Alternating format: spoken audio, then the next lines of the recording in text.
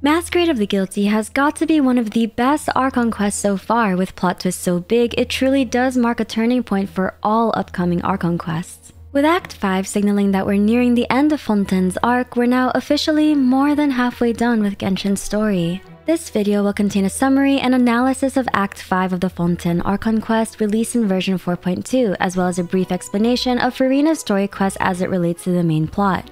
I'll do my best to leave theories at the end of each summary section so as to not confuse canon information with theory crafting. Without further ado, here's Act 5 of the Fontaine Archon Quests, Masquerade of the Guilty. I'm your Leafy Lore Shira Minsleif and I read the Genshin Impact lore so that you don't have to. Please keep in mind this is a leak-free zone, so any and all information included in this video is either confirmed by Hoyoverse or speculative in nature. No leaks, only drip. The story picks up right where 4.1's Archon Quest left off. After the events in the Fortress of Meropide, Traveler and Paimon carry out the rest of their sentence. Here at the beginning of Act 5, their sentence is nearing its end as they prepare to sign their release papers. The pair feel a massive tremor and run straight to Wriothesley to inquire about it. Wriothesley suggests that the tremor must have come from the surface, as the steel Neuvillette placed over the reservoir of Primordial Sea at the base of the fortress can't have possibly failed. The pair then rush to Palais Mermonia to ask Neuvillette.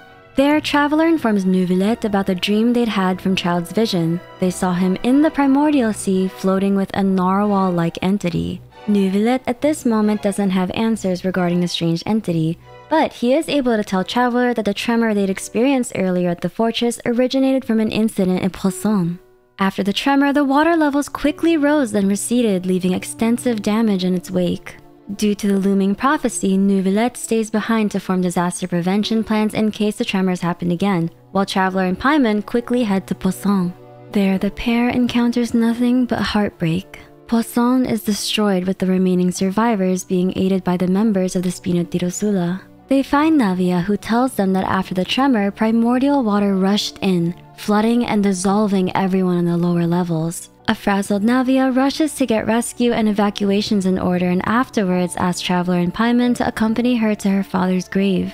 There, Navia breaks down and mourns the loss of her dearest companions and friends, Melus and Silver, who were dissolved by primordial water in the midst of rescuing as many people as they could. By the way, kudos to Hoyoverse for this insane writing. It's been a while since an Archon quest made me cry, and this entire quest had me in such an emotional chokehold. I was in shambles, okay? Shambles. Navia has a list of victims which Paimon reads out loud. The pair reassure Navia that Melus and Silver died heroes. Suddenly, Arlecchino makes an appearance, and to our surprise, it turns out that Navia and Arlecchino are well acquainted. Arlecchino had dispatched Fatui agents to assist in Poisson's relief efforts. The Fatui had also been funding the activities of the Spina di Rosula. Remember, the Spina di Rosula is a crowd-funded organization. It appears Arlecchino has immense care for the people of Fontaine and seeks to protect them from the prophecy. But she also hopes that in the future, the Spina di Rosula would be able to aid the Fatui in their future endeavors. Arlecchino informs the group that the House of the Hearth discovered ancient ruins near Poisson. Judging from the age of the ruins, they could contain information about the prophecy and the recent surge of the primordial sea. Navia tags along in order to help investigate and distract herself from her pain. The ruins are flooded with primordial water, which makes this situation particularly dangerous for Navia. She's Fontainian and fully capable of dissolving. As the group progresses forward, a bridge gives way, causing Navia to fall. Traveler runs to grab her, but it's too late. Navia falls into the primordial water. She wakes up in Poisson, but everything is off. Note how the edges of this scene are rippling like water. Melus and Silver escort her to the Opera Epiclese for her alleged trial. Her crime? Being too helpful, it seems. As an integral part of Poisson's society, the court deems her too important to leave. This trial is meant to keep her there, forever. Melus and Silver jump to protect Navia, and this is where Navia realizes that she is surrounded by all the victims of Poisson. They've all been turned into Oceanids and seek to make Navia part of their collective. Neuvillette comes to Navia's rescue and she finally wakes up in the real world. He explains that when she fell in, two Oceanids, Melus and Silver, had protected her from the primordial water just long enough for Neuvillette to pull her out. Not only were Melus and Silver heroes in the kitchen and heroes in Poisson, but also heroes after death. Neuvillette had finally made it to Poisson only to find Arlecchino and the Fatui assisting in rescue and relief. Arlecchino herself informed Neuvillette about the group's whereabouts. The group continues to explore the ruins where they encounter stone tablets that seem to contain the prophecy. The first tablet appears to be missing. The second tablet contains an image of the previous Hydro Archon Egeria and her people kneeling before an island in the sky, supposedly begging for forgiveness while this island in the sky casts its judgment. The third tablet shows Furina and water surrounded by people. The fourth tablet shows Furina alone on her throne, the piece of the prophecy that's widely known in Fontaine. The group splits up from here. Navia tends to her people, Neuvillette attempts to ask Furina about the prophecy, and Traveler and Paimon head back to their resting spot at the Fleuve Cendrillon. They run into none other than Mona, who's in Fontaine for business regarding the Steambird and the prophecy. Although Mona is a talented astrologer, the magnitude of the prophecy is something that's proven to be difficult for her to decode. Reading this prophecy is akin to reading the future of all of Teyvat and requires someone with more skill than her to read, someone like her master Barbeloth and others in the Witch Coven, the Hexen Circle. Traveler pleads for Mona to get them in touch with her master, which she agrees to attempt. The next day, Traveler and Paimon head over to Neuvillette's office only to find Furina and Neuvillette arguing. Although Furina expresses sadness over the disaster in Poisson, she still continues to dodge Neuvillette's questions about the prophecy and runs out of the room in a hurry. A disappointed Neuvillette states that the only way for them to pry the truth out of Furina is to hold her on trial. Traveler and Neuvillette recruit Navia, the Lyney siblings, and Clorinde to discuss the Grandmaster plan to trap Furina and get her to reveal her secrets. Back at the Fleuve Cendrillon, Traveler and Paimon are met with a talking teacup. This familiar voice is the same prophetic voice that they heard back in Sumeru, the Hexen Circle witch, N. N has arrived in place of Barbeloth to inform Traveler a couple things about this prophecy. Although fate cannot easily be changed, fate is merely from the perspective of the gods, and the god's gaze has blind spots. Traveler contemplates N's words and has a great introspective moment. If they knew the world was going to end, what would they do? The citizens of Fontaine are all optimistic in their answers, living life to the fullest until the very end. Traveler and Paimon rest in the Fleuve Cendrillon, but one day they are approached by Isidora, who informs them that a small-scale riot had broken out in the Opera Epiclese. Some people had accused Furina of not doing anything to prevent the prophecy crisis, causing Furina to run out of the opera house. Paimon deduces that Furina must be in Poisson, consumed by overwhelming grief, and thanks to her deduction skills, the pair indeed find Furina crying in Poisson. Several rioters arrive to chase Furina, and Traveler and Paimon beckon Furina to hide away in a house. A tremor occurs, much like the one that preceded the disaster in Poisson. Time is running out, and Traveler pleads with Furina to tell them the truth about the prophecy and impart any knowledge she has regarding the potential destruction of Fontaine. Her facade begins to crack, and she admits that she had been investigating the prophecy for hundreds of years, but to no avail. She scarily states that we cannot make an enemy of the divine. No matter what we do, the will of the heavenly principles will have its way, and the prophecy shall be fulfilled. Although it's Furina's duty to bear this heavy burden as the Hydro Archon, Traveler insists on being a witness to help relieve some of her worries. Another earthquake occurs, and this time, the house collapses. The group find themselves in the Opera Epiclese, the house being a more elaborate version of Lyney's original swapping magic trick. The people who had chased her out of the opera house and into the house in Poisson were actually members of the Spina di Rosula in disguise. The trial begins with Traveler as the prosecutor and Furina as the defendant. Her charge? Traveler accuses her of pretending to be the Hydro Archon.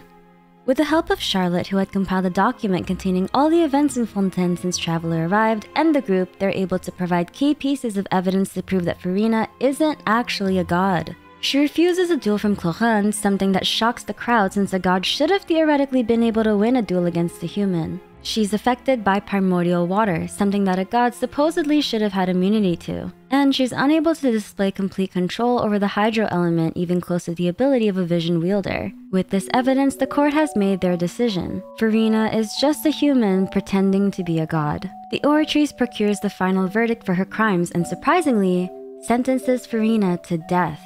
Clemine shows up to the scene with the missing first tablet from the prophecy in the ruins. The first tablet depicts the previous Hydro Archon Egeria turning Oceanids into humans. Now Traveler and Neuvillette are able to piece together the secrets behind Fontaine's prophecy. Egeria's Oceanids had longed to live on land as humans. She had used the primordial sea to grant her Oceanids human bodies by pouring the water into their blood vessels. The catch was that if these Oceanid humans were to come into contact with primordial water again, they would turn back into Oceanids. Hence the people of Fontaine dissolving and turning into Oceanids. Egeria using the primordial sea to create humans was done without the approval of the heavenly principles. Thus, the sin of the Hydro Archon was creating the people of Fontaine. The second tablet depicts Egeria asking for forgiveness. The third slate, as we've witnessed, predicted the people of Fontaine putting Furina on trial. But that still leaves the fourth slate. What is the true reason the primordial sea has been rising, potentially dissolving everyone in Fontaine and leaving Furina alone crying on her throne? The answer is in the vision dream that Traveler had about Childe, the all-devouring narwhal. Right on cue, the narwhal emerges from an abyssal rift that opens in the opera house. Childe in his foul legacy form appears to stall the monster. According to Neuvillette, the narwhal is an abyssal entity that's been using the primordial sea to grow, hence the rising sea levels. Naturally, since Fontainians contain traces of primordial sea in their blood, the narwhal was drawn to where people were gathered in the opera house. Before the group can formulate a plan to stop the narwhal, the Oratrice prepares to carry out the death sentence on Furina. Amidst the blast, Neuvillette and Traveler get sent into different realms. Neuvillette finds himself face to face with the true Hydro Archon Focalors. When Egeria turned her Oceanids into the people of Fontaine, she had also turned Focalors into a human from an Oceanid. And when Egeria had died during the Cataclysm, the burden of the prophecy and the title of the Hydro Archon went to Focalors. In order to save the people of Fontaine from the prophecy, Focalors had plotted to deceive the heavenly principles. When she ascended as an Archon, she split her divinity and body and spirit, leaving Furina as her human body and her divine self as a spirit living inside of the Oratrice. For 500 years, the Oratrice had been collecting immense amounts of indemnitium, people's belief in justice. We find out that the Oratrice is in fact a device created to eventually kill the god of justice, as well as destroy the divine throne of the Hydro Archon. This essentially means there will be no future Hydro Archon. In order for Focalor's plan to work, Furina needed to pretend to be the Hydro Archon long enough for the Oratrice to collect enough power to kill a god and evade the Heavenly Principle's detection. And she did so dutifully for 500 years, suffering that Traveler witnesses in another realm after accessing Furina's memories through her tears. Neuvillette being the Chief Justice of Fontaine was no accident either. Throughout all the trials he's witnessed as the Chief Justice, Neuvillette developed true empathy and love for the human race, something that Focalors was counting on him to develop for the sake of Fontaine. With the Hydro Archon sacrificing herself and his full dragon sovereign powers returned, Neuvillette now has the ability to save the people of Fontaine from dissolving. He does so by absolving Fontainians of their sin and turning them into true humans, unable to be dissolved upon contact with the primordial sea. With Neuvillette as a fully fledged dragon sovereign, he and Traveler enter the primordial sea in order to subdue the all-devouring narwhal. They're aided by Skirk, Childe's master from the Abyss. We learn some very shocking truths from her which we'll cover in a bit. Due to the battle with the all-devouring narwhal, the waters above them in Fontaine must have been thrown into chaos. But thanks to Neuvillette declaring the Fontainians true humans and Wriothesley's boat which only got like 5 seconds of screen time, Fontaine is saved from the prophecy and the waters quickly recede. Although Fontaine is left with some post-flood cleanup, all's well that ends well or so it seems. Neuvillette grants Arlecchino with the Hydro Gnosis now having no need for it. Furina abdicates her role as the Hydro Archon and is now able to live life pursuing her own passions. And Charlotte now gets her long-awaited interview with Wriothesley. Neuvillette bids us farewell as Traveler and Paimon potentially make their way to Natlan, the nation of dragons, and warns them that the Fatui Harbinger Capitano should be stirring trouble there. Neuvillette also reveals some pretty startling information, but we'll go over it in a sec. In a nutshell, these are the most important takeaways from Act 5 for now. Focalors, the true Hydro Archon, sacrificed herself to save the people of Fontaine and defy the heavenly principles. Furina was the human counterpart to Focalors and was pretending to be the Hydro Archon in order to trick the heavenly principles into thinking the prophecy would play out as they initially hoped. How is Furina able to live for 500 years if she's only human though? Furina was cursed, just as Arlecchino had detected in the previous Archon quest. For as long as the Hydro Archon's divinity existed, Furina will cease to age. Now it's implied Furina will now live a normal human lifespan from this moment forward. Now let's analyze this Archon quest and go over some of the more impertinent things such as the information we learned from Skirk and Neuvillette.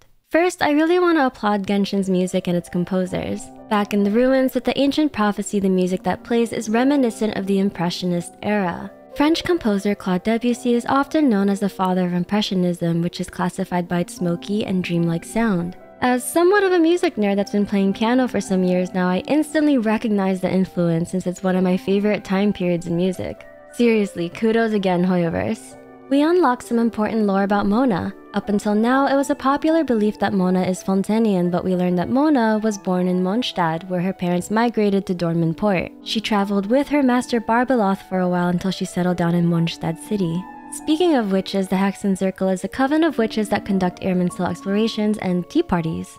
Known members include Klee's mother Alice, Albedo's master Rhinedottir, Mona's master Barbeloth, and N, who we learn is Nicole in the Windblume's Breath event back in version 3.5. We also learn that there are tiers when it comes to these witches. Mona's last name is Megistus, a title her master gave her which means great. In a show of petty humor, her master Barbeloth changed her own name to Trismegistus to mean thrice as great. According to Mona, there are different degrees of the power of divinity. Mona herself is a talented astrologist who's able to use hydromancy and the stars to determine people's fates, but above her are visionaries, a tier of prophets who are able to decipher world changing prophecies, abilities beyond Mona's current expertise. Speaking of visionaries, we learn of another visionary besides just the members of the Hexen Circle. Although she's Childe's master and mentor, Skirk reveals that she also has a master herself, a mysterious man known as Surtalogi. Most of us are probably familiar with Albedo's nefarious master, Gold or Rhinedottir. For a quick recap, she's often credited for having been an antagonistic entity during the Cataclysm, unleashing her abyssal creations into the world. It turns out there are more people like her. Skirk's master the Foul, Surtalogi, Gold, Rhinedottir, and a mysterious visionary named Vedrfolnir. Could the visionary Vedrfolnir have been the one to provide Fontaine's famous prophecy? All three of them appear to be in pursuit of perfection. We see a glimpse of this in Gold's work towards her primordial human project, of which Albedo was a perfect result. It's interesting because Gold is referred to as a sinner, and the Hydro Archon's sin was creating humans illegally against the will of the heavenly principles. Is sin somehow related to the creation of life? Playing God essentially? If so, was the original sinner who spoke through the crystal in the Caribert Archon quest also responsible for creating life? Also, these names are all Norse, so could this imply that Skirk's master and the visionary Vedrfolnir are Khaenri'ahn? These questions are all becoming speculative in nature, so now we can move on to the theory portion of this video. Skirk also reveals some pretty startling information to Neuvillette during their final interaction in the Primordial Sea. The Gnosis are made from the remains of the third descender. It's okay if you were like, huh, during this part, because I can explain.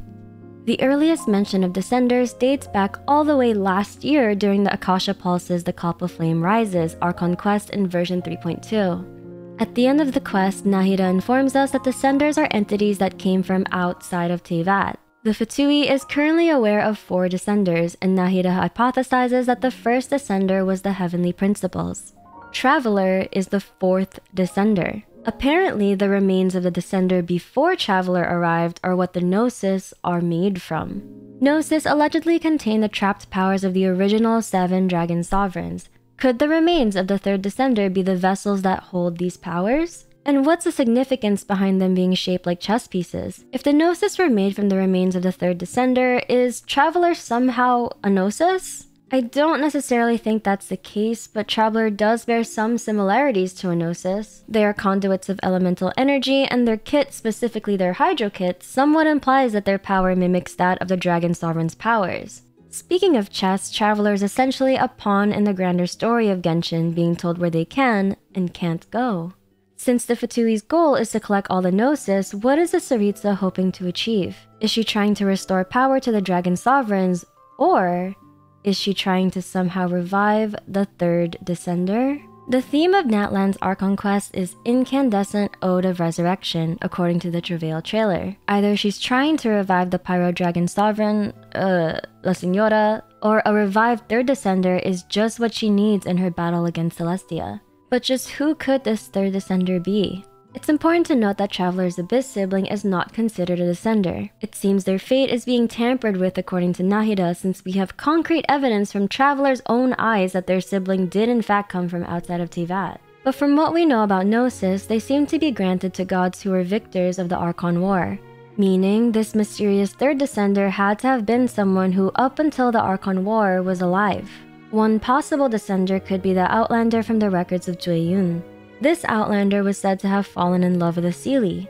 Sudden disaster struck after their union and they were ultimately punished. They were separated from each other for eternity and their memories of each other wiped. Although this Outlander could be a Descender, we still don't know if they're the second or third Descender, and we also don't know what happened to them after this story. I'm personally wondering if the third Descender has something to do with the book The Pale Princess and the Six Pygmies. It's one of my favorite books in the entire game since I have a feeling it might have something to do with Khaenri'ah. But that aside, the title The Pale Princess and the Six Pygmies is a play on words on the German fairy tale Snow White and the Seven Dwarfs by the Brothers Grimm. Seven. Seven Gnosis? In this story, we learn about a Night Mother who is said to be the source of all sins. The Kingdom of the Moonlight Forest is the only safe haven from the rule of the Night Mother. Kingdom. Paimon notes that the Gnosis resemble chess pieces. And what do these chess pieces represent? A kingdom. I have a feeling this book is going to be incredibly important since it's one of the first books we encounter in the entire game during Lisa's story quest, and only one out of seven of its volumes is currently released in the game. Again, with the number seven. Judging from the descriptions of the unreleased volumes, the most important characters in this story will be the Pale Princess, the Light Prince, and the Six Pygmies, with the Six Pygmies implementing some nefarious plot. I don't know, but finding out someone's body is being used as vessels for supreme power sounds pretty nefarious to me. Okay, but if I'm assuming the story is about the Gnosis and the Archons because of its involvement with the number 7, then why are there 6 pygmies instead of 7? Well, it makes sense now that the Hydro Throne no longer exists. With Focalors' sacrifice and her eradication of the Hydro Throne, there are only 6 Archons left. This could mean that the Pale Princess or the Light Prince are possible contenders for the mysterious Third Descender. Again, I was particularly interested in this book because it seems so Khaenri'ah coded. Perhaps the constant lack of sunlight and the nourishment of the moonlight was the reason for their beauty. Reminds me of the way Khaenri'ah is an underground nation. Not to mention, Light Prince always made me wonder if it had something to do with our Chalk Prince Albedo who was created by an alchemist from Khaenri'ah. Albedo himself might not be the Light Prince, but who he was modeled after, Rhinedottir's idea of a perfect primordial human, could have been this metaphorical light prince from this ancient tale. Now, would it make sense if the third descender has something to do with Khaenri'ah or its ancestors? Pierro, a Khaenri'ahn sage, did join the Fatui since his goals seemed to align with the Tsaritsa's. So is the descender they're trying to revive have something to do with Khaenri'ah's origin? All of this is highly speculative, of course, and without the rest of the six volumes in this series, it's going to be hard to tell if this fairy tale has anything to do with the third descender. Not to mention, this story, in my opinion, might have more to do with Khaenri'ah than anything else. So for now, until we get the complete volumes, I'll put this particular theory on hold. Now back to Skirk. There's been a lot of hype surrounding Skirk and her abilities seeming to coincide with Honkai's quantum element. But look closely. Skirk seems to be able to manipulate space when she reforms a narwhal into a black hole. Before we get into this, I'll give you a quick recap on primordial lore. The first god of Teyvat was known as the Primordial One, a god who was said to have wings and a crown. With his subordinate gods, the Four Shining Shades, he defeated the Seven Dragon Sovereigns and reformed Teyvat to accommodate the arrival of humans. We know of one Shining Shade, the goddess of time, Istaroth. The reputation Wings of Fontaine might actually hint at a shining shade or goddess of life. In fact, the shining shade of life created Egeria in the primordial sea, hence why Egeria had access to it in the first place. Time, life, crown, why do these sound so familiar? Flower of Life, Plume of Death, Sands of Aeons, Goblet of Eonothem, and the Circlet of Logos, the artifacts. According to a Q&A session with the Genshin development team, there needs to be a prayer ceremony in order to receive their blessings and protections, hence why the characters assume prayer poses in the artifact screen. In the Chinese version of the game, the Goblet of Eonothem is more accurately translated as the Goblet of Space. Could Skirk's powers be related to the powers of the Shining Shade of Space? Note that the supposed elements of the primordial gods imply the introduction of five more elements. Now, if we look at the colors of the rainbow name card, five elements appear to be missing. Skirk's element and possibly Abyss representing space, the light element representing the circlet, life, death, and time possibly being the leyline powers we see Dainsleif demonstrating. Ley lines would have the closest association with time since ley lines essentially contain a record of all things that have happened in Teyvat. Although I love this Archon quest so much and I consider it one of the best we have, I do have a couple questions that I really don't have answers to. I need more information on Childe. We don't really get an explanation about why he's so tied to the all-devouring narwhal besides he somehow woke it up in the abyss. In fact, we barely learn anything new about him before he gets literally yeeted back into the abyss by Skirk. Our sentence in the Fortress of Meropide was 45 days, meaning Childe was in the Primordial Sea for at least 45 days fighting the all-devouring narwhal. No wonder the poor guy was in bad shape. I seriously hope we learn more about Childe or what happened to him because I was a little disappointed we barely got to interact with him. This next portion is spoilers for Furina's story quest, but if she was pretending to be the Hydro Archon in order to fool the Heavenly Principles, essentially Celestia, then why does she have a vision? Either the god's blind spots are massive, or this means that Celestia doesn't actually ordain who gets visions. Because why do members of the Fatui have visions then? Why does Kaeya have a vision? It's probably decided by another authority, dragons perhaps? Since they are the original lords of the elements technically. If that's the case, are visions being tickets to ascending Celestia a lie?